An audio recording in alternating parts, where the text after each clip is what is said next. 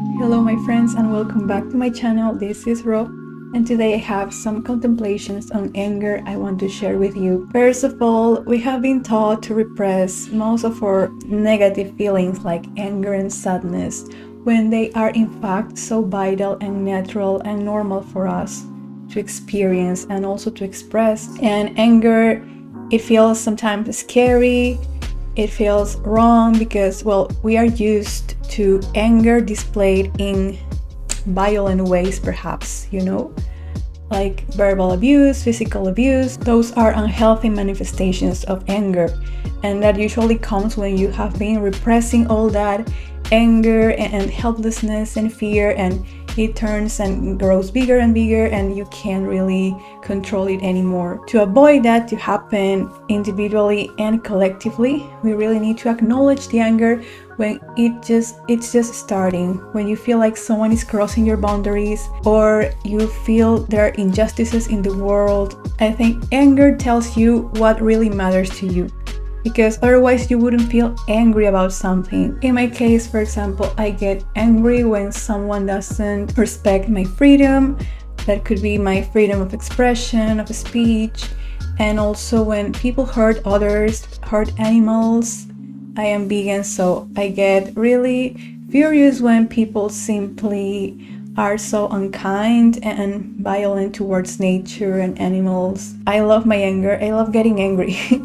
yeah, it might sound paradoxical, but if you harness that anger in a positive way, that's how you create change and transformation in the world. You have seen through history all those movements and revolutions, they have been fueled by anger.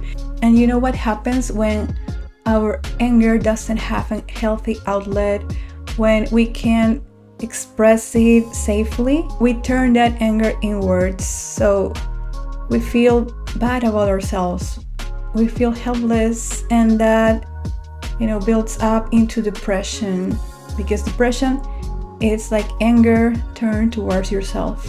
So what we can do with this energy? How can we transmute it into something different? How can we learn from it? I have a few tips for you, so I invite you to try them and see what works and what doesn't because each of us is unique. First, I like to journal. I like to say, okay, this is, you know, infuriating to me. I am annoyed and I write that down. Or I do some intuitive art and, you know, do some scribbles, angry scribbles, or this, for example. I love to use my body to express things. So when something is angering me, like, or I go outside and I scream, or, or I do uh, workouts. I love to exercise in the morning. I feel like that relaxes me a lot. Perhaps I don't come across as an angry person usually. I friends see me as very optimistic and happy, but it is because I also give myself time to acknowledge that anger and sadness, and I'm going to make another video for sadness especially. But let's continue with anger and talk to people. Be honest with your feelings. If you are getting angry at someone, you know, be honest with yourself and see what is really bothering you. If it's if it's something something projected or if that that person is really doing something bad to you or to others. So keep them accountable. I hope that helps and please tell me in the comments what makes you angry what matters to you so much that you're ready to fight for it in subtle or loud ways. Um, i hope you enjoyed this video and please give me a like and subscribe to my channel. I'll be back soon. Love you so much. Be angry be happy be you